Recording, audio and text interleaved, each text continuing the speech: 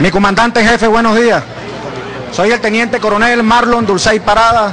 Me desempeño actualmente como jefe de seguridad ciudadana del Comando Regional número 5 de la Guardia Nacional Bolivariana. Me acompañan los voceros de los consejos comunales y los representantes de las misiones sociales que hacen vida activa en la parroquia Petare del Distrito Capital. Buenos días. Buenos días a todos.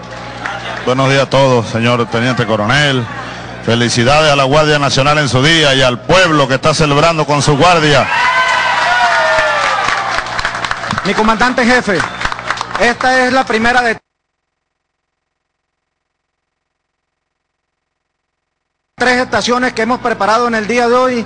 Tiene que ver con el alcance del Guardia del Pueblo. El Guardia del Pueblo se encuentra enmarcado dentro del plan Caracas Segura, un plan cuyo rector es el Ministerio del Poder Popular para Relaciones Interiores y Justicia y donde la Guardia Nacional Bolivariana ha recibido la responsabilidad de participar directamente en cuatro de las 28 parroquias que conforman esta área metropolitana. Allí tenemos un despliegue de 1.100 hombres inicialmente que de acuerdo al cumplimiento de una serie de fases vamos a llegar a a la cantidad de 4.800 hombres dispuestos todos en funciones de seguridad ciudadana en cada una de estas 28 parroquias. Queremos resaltar a mi comandante en jefe que el Guardia Nacional del Pueblo, como representante de la Fuerza Armada Nacional, tiene una fortaleza. Esa fortaleza se la da el artículo 328 y 329 de nuestra Constitución de la República Bolivariana de Venezuela, donde el representante de la Fuerza Armada Nacional tiene la facultad y tiene la capacidad de poder actuar en tres grandes campos de acción como lo son el orden interno, la defensa militar y el desarrollo nacional. Es allí una fortaleza que es indiscutible para todos los miembros de la Fuerza Armada Nacional y que nos las da precisamente este, este articulado de nuestra Constitución. Quiero resaltar igualmente que nosotros tenemos el marco jurídico, igualmente tenemos el personal, pero carecíamos de un método. El método lo hemos encontrado a través de la cultura milenaria china. En esta cultura milenaria, ellos a través del mapa Bagua como fuente de energía, de equilibrio, de éxito, ellos colocan en perfecta armonía elementos que conforman una plantilla octogonal y esta plantilla de octogonal la vemos acá identificada desde los elementos de la naturaleza y muy importante también desde los integrantes de lo que es el canon familiar. De tal manera que cada uno de estos integrantes, al debilitarse, es responsabilidad de los otros componentes rescatarlo, llevarlo nuevamente al sitio que le corresponde para que todo pueda fluir en una perfecta armonía. ¿Cuáles son los componentes del octágono? Los componentes del octágono en este ejemplo específico son agua, montaña, cielo, trueno, tierra, lago, viento y fuego para los elementos de la naturaleza. Es de esta manera como los chinos representan el mapa Bagua que al colocarlos en perfecta armonía pues permite. ¿Y el centro qué significa, el octágono central? El centro es el elemento articulador. En la teoría de este mapa Bagua es la fuerza centrífuga que motoriza y que es capaz de mover a todos y cada uno de estos elementos para ponerlo a tono con los intereses de lo que es el espacio común todo. Este modelo a nosotros nos sirve como ejemplo para colocar lo que es nuestro modelo de articulación. En el centro, la fuerza vital, la fuerza que motoriza todo este plan que nosotros, que el Ejecutivo Nacional, que de una u otra forma está allí representado en el plan a través de los ministerios del Poder Popular para educación, para salud, para deporte, para las comunas, Igualmente tenemos que estar enlazados directamente con mucha articulación con los gobiernos regionales, acá representado por la jefa del gobierno del Distrito Capital, nuestra ingeniero Jacqueline Faría, nuestra compatriota, quien desde los mismos inicios de de su acción de gobierno, pues ha estado enlazada y hemos hecho una alianza estratégica en favor del desarrollo de las comunidades. Asimismo, tenemos que enlazarnos con los gobiernos municipales, articular con ellos, de tal manera que mi comandante jefe, una vez que nosotros, nivel nacional, nivel regional y nivel municipal se encuentren en perfecta sintonía, entonces somos capaces, como realmente estamos siendo capaces,